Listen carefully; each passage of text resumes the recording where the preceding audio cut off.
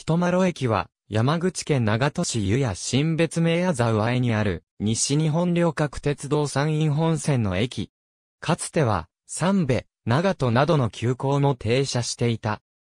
現在は普通列車のみが停車するが、土曜、休日ダイヤに、限り2007年から運行の快速、ミスズ式祭、2017年から運行の〇〇の話の各臨時列車の停車駅となっている。単式、島式の複合型二面三線のホームを持つ、対比、交換可能な地上駅。駅舎は単式ホーム側にあり、島式ホームへは長門市寄りの古線橋で連絡している。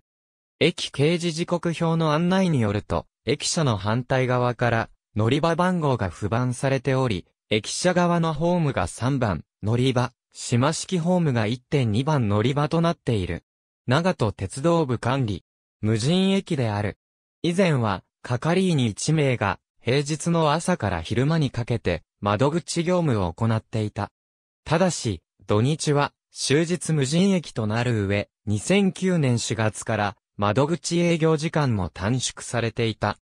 乗り場は、駅舎反対側から、以下の通り。1番乗り場が、上下副本線、2番乗り場が上り本線、3番乗り場が下り本線である。一番乗り場は平日、土曜日の6時台1本のみ設定されていたが、平成29年1月頃に使用停止になった。この乗り場はかつて貨物列車用としても使われていた。かつて、キオスクが出店していたが、2000年頃に撤退した。旧湯屋町の中心部にあたる。1日の平均乗車時銀は、以下の通りである。ありがとうございます。